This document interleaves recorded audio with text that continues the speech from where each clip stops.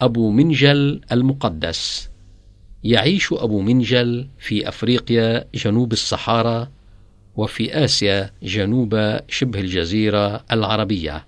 يتغذى هذا الطائر على الضفادع ومختلف أنواع الكائنات المائية فهو يأكل لحم الجيف والنفايات وأحشاء الطيور فيسمونه في أفريقيا الجنوبية منظف المداخن.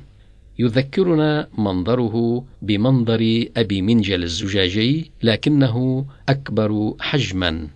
اللون الغالب على ريش الطيور البالغة هو الأبيض العنق والرأس عريان تماما من الريش.